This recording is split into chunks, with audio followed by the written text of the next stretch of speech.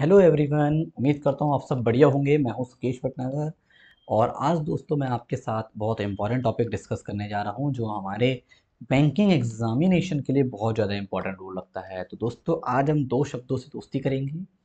एक है CBS और एक होता है दोस्तों CTS तो चलिए स्टार्ट करते हैं। तो सबसे पहले अगर आपने इस चैनल को अभी तक सब्सक्राइब नहीं करा है तो चैनल को सब्सक्राइब कर दीजिए, दोस्तों को शेयर कर दो और वीडियो को लाइक कर दीजिए। देखो दोस्तों, अगर CBS के बारे में अगर हम बातचीत करते हैं तो सबसे पहले हमें जानना होगा CBS होता क्या है है ना? इसका फुल फॉर्म क्या होता है? तो दोस्तों, याद रखना जो सी होता है, इसका पूरा नाम है कोर बैंकिंग सॉल्यूशन। तो दोस्तों, ये तीन शब्द हैं कोर बैंकिंग सॉल्यूशन इन तीनों को ही मिला के हम CBS के नाम से जानते हैं। तो अब हमें जानना है, होता क्या है दोस्तों? देखिए, अगर हम इसके नेम को ध्यान से देखें फ्रेंड्स तो इसके नाम में लास्ट में एक वर्ड आया है सॉल्यूशन है ना? भाई सॉल्यूशन मतलब क्या होता है दोस्तों? सॉल्यूशन का मतलब एक सिंपल किसी प्रॉब्लम का सॉल्यूशन किसी समस्या का हल या किसी प्रॉब्लम का सॉल्यूशन तो भाई, आप मुझे बताओ कि आपको प्रॉब्लम पता है जो सॉल्यूशन पता करने चले गए? नहीं ना? तो दोस्तों देखो, अगर हमें इससे दोस्ती करना है तो सबसे पहले हमें जानना पड़ेगा प्रॉब्लम जब तक हमें यही नहीं पता कि what was the problem problem क्या थी, जिसकी वजह से ये सॉल्यूशन लाया गया तो हमें कैसे पता चलेगा ये है क्या? अब वही बात मान लो मैं आपसे मैथ्स का बोलूँ कि इसका आंसर भाई फाइव आ रहा है। अब मैं बोलूँ, बताओ क्या है क्वेश्चन अब ऐसे कैसे बता दोगे भाई क्वेश्चन है ना? भाई जब तक आप ये नहीं बोलोगे, सर, कुछ तो बताइए। ऐसे आंसर तो फाइव तो पता नहीं कितने सारे क्वेश्चन गए होते हैं, है ना दोस्तों? तो वही चीज़ है। मीन्स इस कॉन्सेप्ट को समझने के लिए हमें दोस्ती करनी पड़ेगी प्रॉब्लम से। और प्रॉब्लम को समझने के लिए दोस्तों हमें जाना पड़ेगा आज से कुछ सालों पहले। About fifteen to twenty years के अराउंड आ जाइए आप। पहले आ जाइए। है ना? लगभग दो हज़ार तीन, चार, ऐसे समझ लो, इस समय के अराउंड आ जाओ दोस्तों। दो दो हज़ार दो दो हज़ार तीन, दो हज़ार चार के अराउंड है ना? तो अगर हम इस समय की बात करें तो थोड़ा सा आप ध्यान दीजिए। क्या दोस्तों, इस समय भी बैंकिंग सर्विसेज़ इतना लेना इजी था क्या? जितना आजकल है। क्या इस समय हम घर बैठे खाते खुलवा पाते थे? नहीं। क्या इस समय हम कहीं से बैंकिंग को एक्सेस कर सकते थे? नहीं। क्या इस समय हम किसी भी बैंक में जाके मतलब किसी भी बैंक की ब्रांच में जाके अपने खाते से पैसे निकाल सकते थे? नहीं। क्या इस समय हम किसी भी बैंक की ब्रांच में जाके अपने पैसे जमा कर सकते थे? नहीं। तो अगर हम ध्यान दें, ये कुछ भी नहीं था। क्या इस समय के हमारे अकाउंट नंबर, जैसे कि आजकल के अकाउंट नंबर 16 16 अंकों के होते हैं 14 अंकों के होते हैं कुछ कुछ तो दोस्तों 12 डिजिट्स के भी होते हैं अलग अलग वेरी करते हैं बैंक टू बैंक, क्या इतने लंबे चौड़े होते थे? नहीं। सबका आंसर नहीं है। तो आखिर उस समय था क्या? वो हमें जानना होगा। देखो दोस्तों, अगर मैं उस समय को लेके बातचीत करूँ मे भी आपको भी याद होगा। हो सकता है आप भी अपने पेरेंट्स के साथ या खुद भी गए हो गार्जियंस के साथ गए हो। दोस्तों दोस्तों आपने देखा होगा, पहले एक सबसे बड़ी समस्या ये थी कि अगर आपका किसी बैंक में खाता है, जैसे मान लो एस है, अब आपका SBI की इस वाली ब्रांच में खाता है तो अगर आपको पैसे जमा करने हैं तो आपको इसी बैंक की इसी ब्रांच में जाना पड़ेगा। निकालने हैं तो इसी बैंक की इसी ब्रांच में जाना पड़ेगा। है ना? और आपने देखा होगा जब हम पैसे जमा करते थे तो पैसे जमा करने के बाद लाइनों में खड़े होते थे, पासबुक में एंट्री कराते थे, है ना दोस्तों? कितनी कितनी लंबी लाइनें लग जाती थी, सड़कों सड़कों तक लाइनें लग जाती थी। क्या आजकल है ऐसा? नहीं। क्यों? टेक्नोलॉजी आ गई। अब ज़रूरत ही ना पड़ती भाई। अब तो मोबाइल में मैसेज आ जाता है दोस्तों एक मिनट में कि आपके खाते में पैसे जमा हो गए। अब क्यों आप लाइन में खड़े होंगे, है ना? पहले सारी चीज़ें ऐसी नहीं होती थी। पहले हर काम में समय लगता था। अब हुआ क्या? धीरे धीरे समय बढ़ा। भाई आपको पता है धीरे धीरे समय बढ़ा तो हमारे इंडिया में मोबाइल फ़ोन्स आने शुरू हो गए, है ना? आपने देखा होगा नोकिया ग्यारह सौ वाला मोबाइल जिसमें आप सांप वाला गेम खेला करते थे, है ना दोस्तों? याद है वही वाला मोबाइल आया। फिर और टाइम आया, फिर तो भाई एक आपका इंटरनेट टाइप की चीज़ आ गई। और जब से दोस्तों इंटरनेट आया, उसने तो ज़िंदगी ही बदल दी, है ना? और इसी इंटरनेट का कमाल है सारा का सारा। जब ये इंटरनेट हमारे इंडिया में आया टेक्नोलॉजी आई तो हमारे बैंकिंग सिस्टम में भी दोस्तों टेक्नोलॉजी को लाया गया। और उस समय हमारे इंडिया में एक टेक्नोलॉजी अडॉप्ट किया गया जिसका नाम था सीबीएस मतलब कोर बैंकिंग सॉल्यूशन अब इस टेक्नोलॉजी ने क्या करा? देखो दोस्तों, इस टेक्नोलॉजी के थ्रू हमने जितने भी बैंकों की ब्रांचेस थी, जैसे मान लो एक बैंक है एसबीआई है ना? अब इसकी ये ब्रांच है, ये ब्रांच है, ये जितनी भी ब्रांचेस थी, सारी ब्रांचेस को क्या करा? इंटरनेट से कनेक्ट कर दिया। और सबको कनेक्ट करके एक तरीके से सेंट्रलाइज कर दिया। सारी ब्रांचेस सेंट्रलाइज जितनी भी इसकी ब्रांचेस हैं ऑल ओवर इंडिया में सबको सेंट्रलाइज कर दिया गया। सेंट्रलाइज मतलब एक तरीके से सर्वर से जोड़ दिया गया। सारी ब्रांचेस सेंट्रलाइज हो गई। अब एक बात बताइए मुझे, जब सारी ब्रांचेस सेंट्रलाइज कर दी गई हैं हमारी तो ऑब्वियस है। ऑब्वियस है, अब कहीं से भी पैसा निकालो, खाते में जाना है। है ना? कहीं से भी निकालो, वहीं से निकलेगा, अपने खाते से निकलेगा। कहीं पे भी जमा करो, अपने खाते में जाएगा। सही बात है ना? लेकिन एक बात बताओ। दोस्तों, आप मुझे बताइए, अब इस यूनिकनेस को लाने के लिए आपका अकाउंट नंबर भी तो यूनिक होना चाहिए, है ना? अब मान लो तुम्हारा account number one two three four था। इसमें भी यही था और इसमें भी यही था। अब तुमने खाता में से पैसा निकाला। अब इसमें से निकलेगा, इसमें से निकलेगा। अंतर हो गया, गड़बड़ जाएगी। तो आपका अकाउंट नंबर भी क्या कर दिया गया? एक यूनिक अकाउंट नंबर कर दिया गया। और दोस्तों, जब ये यूनिक अकाउंट नंबर करने की बात आई, तभी हमारे पुराने वाले अकाउंट नंबर होते थे इस तरीके से, जैसे मैंने एग्जांपल में लिखा है। जैसे मेरा एक अकाउंट नंबर था तो दोस्तों, मुझे उसका फॉर्मेट आज भी याद है। वो इस तरीके से था five one five slash one two five four five इस तरीके से था। अब मैं सोच रहा, ये क्या था भाई? हमारा अकाउंट नंबर था दोस्तों। पुराने ज़माने मेरा अकाउंट नंबर हुआ करता था इस तरीके से। अब आप बोलोगे, सर, ऐसा अकाउंट नंबर तो ज़िंदगी पहली बार देखा है। सही बात है भाई, हो सकता है आपने देखा मेरा तो था, क्या करूँ? ठीक, लेकिन हुआ क्या? एक दिन मैं बैंक में पहुँचा ब्रांच में एंट्री वेंट्री कराने गया बैंक में। तो उसने बोला कि, अब आपका अकाउंट नंबर ये नहीं है। उसने एक बड़ा लंबा चौड़ा सा नंबर लिख दिया इस तरीके से। आठ सौ, ऐसा कुछ करके लिख दिया, पता नहीं क्या लिख दिया उसने मैंने कहा, चल भाई, तेरी मर्ज़ी तो कुछ भी लिख दे। मेरे को तो आना तेरे पास ही है, पासबुक में एंट्री कराना। है ना दोस्तों? लेकिन उस समय तो हमने कुछ नहीं सोचा। लेकिन एक बात सोचने की तो है कि ये मेरा चार अंकों का या टेढ़ा मेढ़ा अकाउंट नंबर दो अंकों का, तीन अंकों का, पाँच अंकों का या अलग फॉर्मेट जो हुआ करते थे उस समय, एकदम से इतने बड़े अकाउंट नंबर में कैसे बदल गया? इस पॉइंट तो है। बहुत से बच्चे बोलते हैं, सर पॉपुलेशन बढ़ गई। मैंने कहा, वाह, कमाल है भैया। भाई, अगर मान लो पॉपुलेशन बढ़ गई तो क्या सारे के सारे पॉपुलेशन पैदा होती बैंकों में खाते खुलवाने शुरू कर दिए? हैं? ऐसा तो नहीं था ना दोस्तों। भाई, कुछ लोग कहते हैं, सर, खाते ज़्यादा खुल गए। चलो दोस्तों, मान ली मैंने बात आपकी। अगर खाते ज़्यादा खुले तो मोदी जी की जनधन योजना क्या करने आई थी भैया? जिसने करोड़ों में खाते खोल दिए। अगर सबके पास इतने खाते होते तो उनके खाते क्यों खुलते? सोचने वाली बात है है ना? एक्चुअल में दोस्तों, हुआ कुछ और था। क्या हुआ?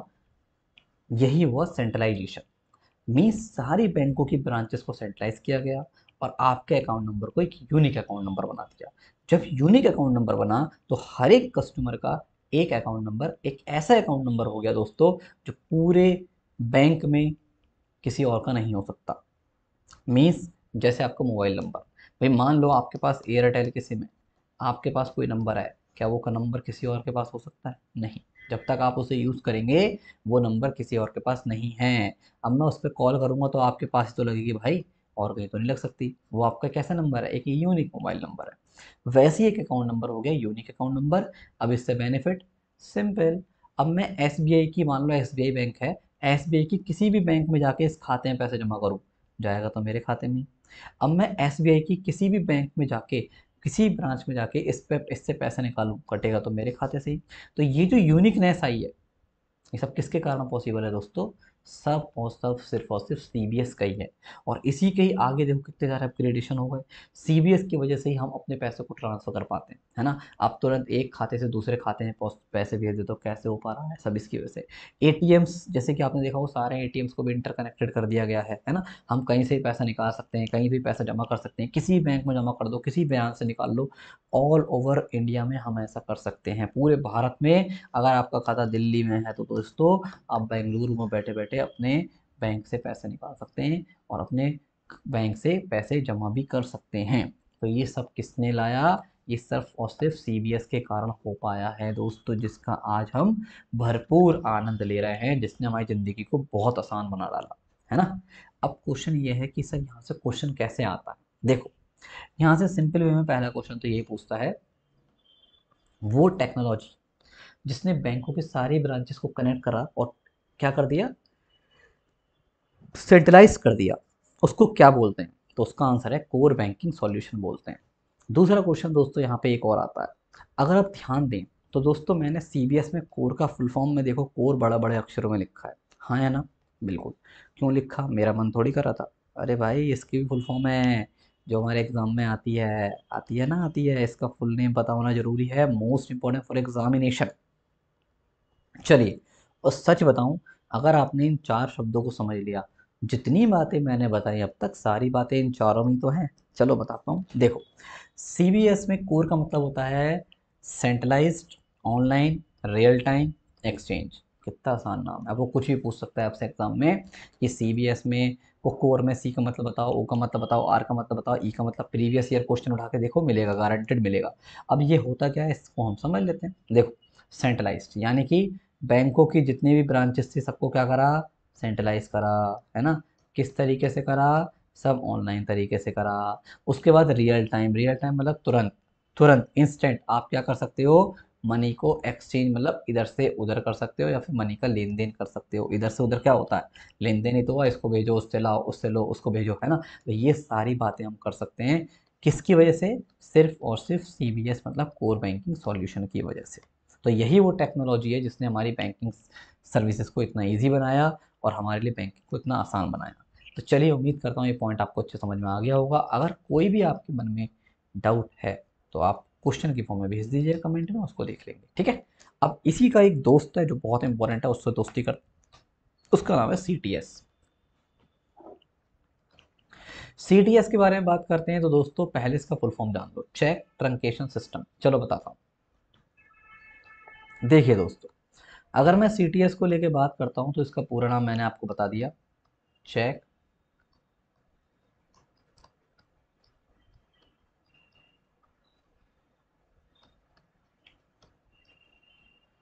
ट्रंकेशन सिस्टम ये है इसका फुल फॉर्म अब आपको एक बात तो क्लैरिफाई हो गई कि इसकी कहानी किससे संबंधित है? चेक से। चेक आप जानते ही हैं, चेक का इस्तेमाल करते ही हैं, बैंक में चेक लेके आते हैं, चेक लगाते होंगे, चेक यूज़ भी करते होंगे, वही चेक। ट्रंकेशन है मेन वर्ड। अगर आपने ये समझ लिया, ट्रंकेशन का मतलब क्या है तो समझ लो सीटीएस खत्म। दोस्तों, याद रखना, ट्रंकेशन मतलब होता है टू स्टॉप समथिंग। मतलब किसी चीज़ पर रोक लगाना क्या कहलाता है? ट्रंकेशन कहलाता है। अब भाई किसको रोक लगाने की बात चल रहा है यहाँ पे? चलो समझते हैं। दोस्तों, याद रखना, इसकी कहानी को समझने के लिए वही पुराना फंडा।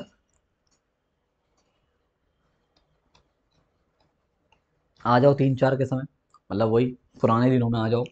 तो दोस्तों, ये बताओ, क्या पहले हमारा जो चेक की क्लियरिंग होती थी और आज के समय में होती है, क्या सेम है? अगर आप ध्यान देंगे, नहीं सेम ज़मीन आसमान का अंतर है। कैसे? बताता हूँ। देखो दोस्तों पहले हम जब चेक को लेके जाते थे, चलो मैं पहले बताता हूँ होता क्या है। जनरली वे में हम क्या होता है? मान लीजिए मैंने आपको चेक दिया। अब आप क्या करोगे? आप अपने बैंक जाओगे। मान लो तुम्हारा बैंक है कोई एक्स वाई जेड बैंक है ना दोस्तों? अब एक्स वाई जेड बैंक पहुँचे, वहाँ पे तुमने एक पर्ची पर्ची भरी, स्लिप भरी और स्लिप भर के उसको उसके साथ अटैच कर दिया। अटैच करके चेक बॉक्स होता है, उसमें चेक डाल दिया और आराम से भैया घर पे आके बैठ गए। अब इंतज़ार करने लगे, कब आएगा मेरा पैसा, कब आएगा मेरे खाते में पैसा, कब आएगा मेरे खाते में पैसा। पहले और अब दोनों समय यही होता है। लेकिन अब होता क्या है, अंतर है इसके पीछे की कहानी में। मतलब आपका काम खत्म बैकग्राउंड में क्या चलता है? पहले क्या चलता था, वो बताऊँगा और अब क्या चलता है, वो बताऊँगा। देखो, पहले वाला कॉन्सेप्ट पहले क्या होता था, अब आपके चेक को लिया जाता था, है ना? चेक बॉक्स में से निकाला जाता था और उसको फिजिकली फ्लो कराया जाता था। अब कहाँ पे? उस बैंक के पास, जिस बैंक का नाम चेक के ऊपर दिखा है। मान लो, मैंने आपको चेक दिया फॉर एग्ज़ाम्पल वो एक्सिस बैंक का चेक है। एक एग्ज़ाम्पल मान दिया तो अब क्या करेगा? आपका एक्स वाई जेड बैंक इस बैंक को फिजिकली एक्सिस बैंक के पास लेके जाएगा। ठीक है? फिजिकली का मतलब होता है दोस्तों, कोई इंसान लेके जाएगा। जैसे साइकिल पर पोस्ट मास्टर साहब आते हैं ना, हमारे डाक लेके वैसे लेके जाएगा और एक्सिस बैंक के पास जाके इसे वेरीफाइड करवाएगा। वेरीफाई कैसे? अब मान लो भाई, ये बंदा लेके आया एक, एक्सिस बैंक के पास चेक अब एक्सिस बैंक उसको वेरीफाई करेगा, ये चेक असली है, नकली तो नहीं? पहला पॉइंट दूसरा चीज़, यहाँ पे मेरे जो सिग्नेचर हो रहा है, वो फर्जी तो नहीं है मैच कर रहे हैं मेरे अकाउंट से। मैच करेगा, तीसरा पॉइंट वो ये चेक करेगा कि ये बताइए कि मेरे खाते में उतना पैसा है जितने वो मैंने चेक काटा है है ना? ये सब चीज़ें चेक करेगा। अकाउंट नंबर सही लिखा है, गलत तो नहीं लिखा है, ये सब चीज़ें चेक करेगा। सब चीज़ें चेक होने के बाद अगर सब सही है तो चेक को क्लियर कर देगा और मेरे पैसे कट जाएँगे खाते से और आपके खाते में पैसे पहुँच जाएँगे। तो पहले दोस्तों ये था फ़िज़िकल फ्लो अब आप बताओ, क्या इतना सब कुछ होने में टाइम नहीं लगता होगा? अब मान लो एक्स वाई जेड बैंक में एक चेक आया आज तुम्हारा। दस दिन तक कोई चेक ही ना आया। तो क्या तुम्हारे एक चेक को लेके जाने बैठा है वो? नहीं। होता क्या था दोस्तों, वो इकट्ठा करता था चेकों को कलेक्ट करके। एक डेट एक तरीके से ऐसे मान लो, उन्होंने दिन बना रखे थे कि पंद्रह दिन में हमें लेके जाना है, बीस दिनों में लेके जाना है। तो इस तरीके से तुम्हारे चेकों की क्लियरिंग करने के लिए लेके जाते थे। अब एक्सिस बैंक के पास चेक आया तो एक्सिस बैंक के हाथों या कोई भी बैंक हाथों वेरीफाई कर देगा? नहीं, उसको भी वेरीफाई करने में टाइम लगेगा। वो कहता था, भैया रख जाओ। बता देंगे तुम्हारा वेरीफाई हुआ तो। अब रख दिया, अब वेरीफाई हो रहा है, दो चार दिन लग गए। और ऐसे करते करते दोस्तों पहले एक एक महीने लगता था चेक को क्लियरिंग होने में। पता है तुम्हें? एक एक महीने में एक चेक हमारा क्लियर होता था, इतना ज़्यादा टाइम टेकिंग था। लेकिन आजकल आजकल तो आपको पता ही है भैया, दो से तीन दिन मैक्सिमम आपका पैसा खाते में आ जाता है है ना?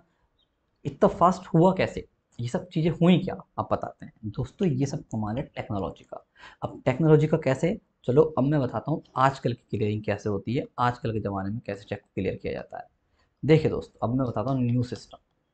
हुआ ये धीरे धीरे समय बढ़ा और जब टेक्नोलॉजी आई तो दोस्तों हमारे इंडिया में एक टेक्नोलॉजी आई 2010 में और उस टेक्नोलॉजी का नाम है C T S most important question for exam C T S कब आया?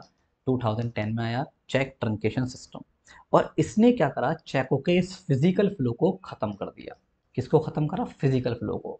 और इसकी जगह लाया इलेक्ट्रॉनिक फ्लो तो आजकल दोस्तों चेक की फ़िज़िकल फ्लो नहीं होती है इलेक्ट्रॉनिक फ्लो होती है। अब इलेक्ट्रॉनिक फ्लो कैसे होती है बताता हूँ। देखिए दोस्तों, अब होता क्या है, जब आप चेक बॉक्स में चेक ड्रॉप करके चले जाते हैं तो अब आपका चेक बैंक वाले यहाँ से निकालते हैं और इस चेक को क्लियरिंग हाउस में पहुँचाया जाता है। हर एक बैंक का एक अपना क्या होता है क्लियरिंग हाउस होता है और वहाँ पे इसको इलेक्ट्रॉनिकली क्या होता है? इलेक्ट्रॉनिक वेरिफिकेशन के लिए भेजा जाता है। इलेक्ट्रॉनिकली इलेक्ट्रॉनिक वे में वेरिफिकेशन के लिए भेजा जाता है। आप कैसे भेजेंगे? दोस्तों, याद रखना, यहाँ पे क्या होता है? मशीन्स होती हैं। और वो मशीन ऐसी होती है कि जो चेक है आपका, उसकी electronic image E image create कर देती है। और ये जो इलेक्ट्रॉनिक इमेज होती है दोस्तों, बिल्कुल सेम जो आपका चेक फ़िज़िकल है, उसकी एक डुप्लीकेट कॉपी बना देगी जैसे स्कैनर करता है। लेकिन स्कैनर दोस्तों क्या वाटर मार्क स्कैन कर पाएगा? नहीं। क्या चेकों की जो अदर सो सिक्योरिटीज़ होती हैं, उसको स्कैन कर पाएगा? नहीं। तो ये हाई क्वालिटी की मशीन्स होती है, जो बिल्कुल होबो हो इमेज चेक की क्रिएट कर देगी इलेक्ट्रॉनिक वे में। अब उस इलेक्ट्रॉनिक इमेज को ही सेंड कर दिया जाएगा वेरिफिकेशन के लिए। अब जहाँ पहुँची है, वो उसको वेरीफाई करेगा। है ना दोस्तों? इलेक्ट्रॉनिकली वेरीफाई करेगा। सिग्नेचर मैच करेगा नंबर चेक करेगा सिक्योरिटी चेक करेगा सब कुछ चेक करके अगर सब कुछ सही होगा तो मेरे खाते से पैसे काट के आपके खाते में ट्रांसफ़र कर दिए जाएँगे और चेक को क्लियर कर दिया जाएगा। तो आजकल की क्लियरिंग ऐसे होती है। तो दोस्तों अब मुझे बताइए पहले क्लियरिंग में और आज क्लियरिंग में कितना आसान कितना ज़मीन आसमान का अंतर है? अब आपका चेक का कहीं फ़िज़िकल फ्लो हुआ कोई इंसान उठा के लेके जा रहा है? नहीं हुआ। तो यही सिस्टम जिसने चेकों के फ़िज़िकल फ्लो को बिल्कुल ख़त्म कर दिया उसी को बोलते हैं क्या दोस्तों? C T S cheque truncation system अगर आप ध्यान देंगे, एक बात और बताता हूँ। आजकल के जो चेक हैं दोस्तों, वो पुराने वाले चेकों से काफ़ी अलग हैं। पहले हमारे नॉर्मल जो कागज़ का टुकड़ा होता है ना जैसे रफ कॉपी होती थी पहले, उस तरीके के चेक होते थे, दोस्तों, अगर ध्यान देंगे। लेकिन आजकल के चेक ऐसे नहीं होते। आजकल के चेक अगर आप ध्यान देंगे दोस्तों तो उसमें कुछ फीचर्स होते हैं, जैसे वाटर मार्क पहला पॉइंट देखा होगा आपने। हर एक चेक पे जनरली वाटर मार्क लिखा होता है S B I P N B H D F C इस तरीके से लिखा होता है। दूसरी चीज़ आपने नोटिस करी होगी M I C R code होता है चेक पे, है ना? जो यहाँ पे चेक की क्लियरिंग में मदद करता है। चेक नंबर होता है चेक के ऊपर, है ना? चेक नंबर मेंशन होता है, यहीं पे लिखा होता है, वो भी नीचे लिखा होता है। इसके अलावा अगर हमने नोटिस करा हो दोस्तों, जहाँ पे आपका ये खाना बना होता है अकाउंट नंबर लिखा होता है ना, उसके नीचे अगर आपने ध्यान दिया हो तो यहाँ पे एक सिल्वर से कलर का स्क्रैच सा होता है। नोटिस किया आपने? कभी देखना चेक को आँखें खोल के देखना तो आपको मिलेगा स्क्रैच सा मिलेगा। अभी ये स्क्रैच वो नहीं है कूपन कहीं से रगड़ दो और मोबाइल रिचार्ज कर लूँगा। नहीं दीज आर सिक्योरिटी थ्रेड ये सिक्योरिटी होती है, जो कि हमारी मशीन्स जो है रीड करती हैं। एक तरीके से कोडिंग वगैरह कह सकते हो, या सिक्योरिटी पर्पज़ के लिए यूज़ होता है। और अगर ध्यान दिया हो आपने तो यहाँ पे आपका छोटा छोटा लिखा होता है दोस्तों, एक C T S two zero one zero notice किया हो तो। सेम इधर भी ये बात लिखी होती है कुछ चेक में, है ना? तो इससे क्या पता चलता है? इससे पता चलता है कि ये cheque C T S enable है। दोस्तों, पहले एक चेक को फिजिकली वेरीफाई करा जाता है, इंसान वेरीफाई करा जाता था तो कापी कलम से वेरीफाई हो रहा अब मशीन वेरीफाई कर रही है। तो दोस्तों, अब आप बताओ, क्या मशीन हर एक कागज़ को एक्सेप्ट कर लेगी? नहीं। क्या दोस्तों, आपकी एटीएम की मशीन में जो आप स्लिप निकालते हो, उसमें नॉर्मली अपनी कॉपी में से फाड़ कर कागज़ लगा सकते हो? वो निकल के आ जाएगा? नहीं निकल के आएगा, है ना? बिकॉज़ मशीन अलग अलग क्वालिटीज़ एक्सेप्ट करती है। एक पर्टिकुलर लेवल का उसको आपको बनाना पड़ेगा। अपने कंटेंट को सुधारना पड़ेगा। अपने डॉक्यूमेंट को इम्प्रूव करना पड़ेगा। तो ये जितने भी चेक हैं आजकल का हम जो यूज़ करते हैं दोस्तों सी टी एस अनेबल्ड आता है लिखा हुआ C T S enable cheque मतलब हमारी मशीन जो है सी टी एस वो उसको आराम से रीड कर सकती है, उसको स्कैन कर सकती है। वो नॉर्मल चेक की तरह नहीं है, उससे थोड़ा सा हट के चेक है। इसका मतलब ये होता है है ना? अब आप बोलोगे, सर, ऐसा होने से हुआ क्या? फ़ायदा क्या वो बताओ। देखो दोस्तों, यहाँ पे हम मैं इसके एडवांटेज बताता हूँ। सबसे बड़ा सबसे आसान, सबको पता है। सर चेक की क्लियरिंग का टाइम कम हो गया। टाइम रिड्यूस हो गया, है ना? पहले भैया एक महीना लगता था तो दो तीन दिन में चार पाँच दिनों में आपके चेक खातों हाथ क्लियर हो गया, खातों में पैसा आ जाता है। दूसरा सबसे बड़ा एडवांटेज क्या? चेक सिक्योर हो गया। सिक्योरिटी बढ़ गई चेक की। अब ये जब फीचर्स लग गए हैं वाटर मार्क लग गए हैं तो इसकी डुप्लीकेसी कम हो गई ना। हर कोई वाटर मार्क थोड़ी वहाँ छपा देगा। पहले तो भाई एक बात बताओ दोस्तों, जब नकली नोट बन सकता है तो चेक की क्या वैल्यू है? चेक तो पहले बनता थी नकली लेकिन अब थोड़ा सा सिक्योरिटी रीजंस बढ़ चुके हैं, है ना? तो इसलिए थोड़ा सा सिक्योर हो गया चेक और ज़्यादा सिक्योर हो गया, पहले से कंपेयर में तीसरा पॉइंट ईजी प्रोसेस हो गया, है ना? पहले क्या होता था कि बेचारा वो लेके जाता था डाकघर इंसान फिजिकली फ्लो करवाता था, फिर दोबारा से वेरिफिकेशन के बाद जाता था, ये सब बहुत ज़्यादा बवाल था। तो अब इजी हो गई क्लियरिंग है ना? चौथी चीज़ क्या हो गई फ़ायदा? भाई एक बात जब वो इंसान लेके जा रहा है कि खर्चा ना होगा उसके आने जाने में। फ्री में चला जाएगा। बेचारा मेहनत कर रहा है, इतनी तुम्हारे चेकों को लेकर जा रहा है। हो सकता है भैया उसे ऑटो करके जाना पड़ता हो हो सकता है साइकिल पे जाना हो हो सकता है बाइक से जाएगा तो पेट्रोल खर्च करेगा, डीजल खर्च करेगा, कुछ तो खर्च करेगा। पैसा तो लेगा। यानी कि कॉस्ट लगती थी उसकी तो कॉस्ट भी ज़ीरो हो गई। अब तो इलेक्ट्रॉनिक है भैया, मशीन बेचते तो कुछ जाना आने का। लफड़ा ही खत्म है। यानी कॉन्सेप्ट ही खत्म। है ना दोस्तों? मीन्स कितने सारे बेनिफिट हुए। तो ये सब बेनिफिट किसकी बदौलत हो पाए? These all are possible only only only and only one technology रेस्कॉर्ड C T S cheque truncation system जिसने आपकी हमारी ज़िंदगी को बहुत आसान बनाया और बैंकिंग सर्विस को बहुत ईजी बना दिया। तो उम्मीद करता हूँ ये भी आपको सारी चीज़ें क्लियर हो गई होंगी। एग्ज़ाम में क्वेश्चन कैसे पूछता है? मैंने आपको बता दिया। चेकों के फ़िज़िकल फ्लो पर चौक लगाई जिसने, उसको क्या बोलते हैं? उसको सीटीएस बोलते हैं। क्या बोलते हैं? चेक ट्रंकेशन सिस्टम बोलते हैं। ठीक है? बाकी देखिए आप इसे पढ़ेंगे तो आपको और अच्छे से क्लैरिफाई हो जाएगा। अगर कोई डाउट हो यहाँ तक कि कहानी में क्वेश्चन के फॉर्म में भेजो और अपना डाउट क्लैरिफाई कर लीजिएगा। क्लास के एंड में मैं आपको डाउट को समझा दूँगा। ठीक है? अदरवाइज़ नेक्स्ट क्लास में आपको समझा दूँगा। टेंशन काय को ले रहे हो? कमेंट में लिख दीजिए आप, है ना? और एक इंपॉर्टेंट चीज़ दोस्तों अगली क्लास में एक बहुत अच्छा टॉपिक लेके आ रहा हूँ मैं आपके लिए। तो सारे बच्चे इस चैनल को सब्सक्राइब कर लो, वीडियो को लाइक ज़रूर करते हो शेयर ज़रूर करते रहा करो। और हाँ एक important twenty seven of October से अभी अन अकेडमी पे न्यू कोर्सेज आए हैं तो इसमें भैया जल्दी जल्दी से एनरोलमेंट करा लो। और एक बात और बताऊँ, इस समय ऑफ़र चल रहा है, मौके पर चौका मार दो, मेरे भी नए कोर्स आए हैं भैया, ठीक है अलग अलग एजुकेटर्स के साथ। तो आप भी आइए और जल्दी से जुड़ के पढ़ाई करना शुरू कर दो। आज के डाउट फीचर भी आ गया है, दोस्तों, अब तो पता है तुम्हें, अब तो आप क्लास के अलावा अगर क्लास में डाउट क्लियर नहीं हो पाता एक परसेंट तो उसके अलावा भी अब आप डाउट इन सॉल्यूशन सेशन में जाकर अपने डाउट को इमीडिएट वे में क्लियर कर सकते हो, पता है आपको? और एक सबसे बढ़िया, इस समय बढ़िया मस्त ऑफ़र चल रहा है, इनका बेनिफिट लीजिए दोस्तों। एक साल पे बैंक का चार महीने का फ्री दो साल पे आठ महीने का फ्री सब्सक्रिप्शन मिल रहा है। सी ले लो, इस समय सबसे बढ़िया बताऊँ। दोस्तों जो हज़ार बाईस में सी आ ही रहा है, आपको पता है। है ना? जब सी आ रहा है तो अभी से क्यों ना सी को फॉलो करें। तो सारे बच्चे सी दीजिए। एक साल पे छः महीने का फ्री दो साल पे बारह महीने का फ्री मिलेगा आपको। यानी कि दो साल वाला लो। देखो दोस्तों, दो साल प्लस बारह महीने, यानी कि एक साल इजिकल टू थ्री साल। तीन साल हो गए। और भी कितने रुपये में? One one one one zero में। यानी कि इसमें भी दस परसेंट ऑफ़ करवा दूँगा। मेरा कोड लगा लो गेट लाइव गेट लाइव लगा दो दोस्तों। तुरंत टेन परसेंट का इंस्टेंट ऑफ़ लो। जल्दी से सब्सक्रिप्शन लेके पढ़ना शुरू कर दो। अगर आप फ़र्स्ट ईयर में हो ना, अभी से ले ले भाई। अब तो समय है ही है तुम सेकंड ईयर में तो एक साल लेट हो, दो थर्ड ईयर में तो दो साल लेट हो गए हो यार, और क्या बोलूँ बताओ मैं। तो जल्दी जल्दी दीजिए, पढ़ना शुरू कर दीजिए और तैयारी करके अपने एग्ज़ाम को क्वालिफाइड करो, सरकारी नौकरी ले लो जल्दी से भैया। समय बदल रहा है जल्दी जल्दी से और एक इंपॉर्टेंट चीज़ अन अकेडमी कॉम्बैट में हिस्सा लेते रहा करो, जो कि एवरी संडे होता है सुबह दस बजे, है ना? क्लास अच्छी लगे तो लाइक करो, दोस्तों को शेयर करो, अगर आपने इस चैनल को भी सब्सक्राइब नहीं करा तो चैनल को सब्सक्राइब ज़रूर कर दीजिएगा दोस्तों।